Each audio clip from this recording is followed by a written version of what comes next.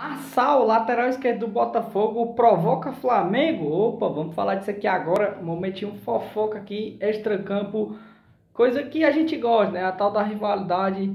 Mas de mais nada, deixa o likezão aí se inscreve no canal, se você vai estar tá fortalecendo o meu trabalho. Então, bora lá. Esse cara aqui, ó, é Daniel Podense, jogador do Wolverhampton da Inglaterra. Time no qual o João Gomes se transferiu aí é, no início do ano, né?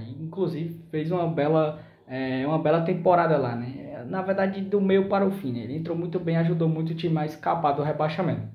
E esse cara que é companheiro do João Gomes, certamente essa camisa foi o João Gomes que deu a ele. E o lateral esquerdo do Botafogo, o Marçal, deu aquela provocada no Flamengo, né? Ele comentou o seguinte lá é, na publicação do Daniel Podense. Ele falou assim: manda o endereço, mano.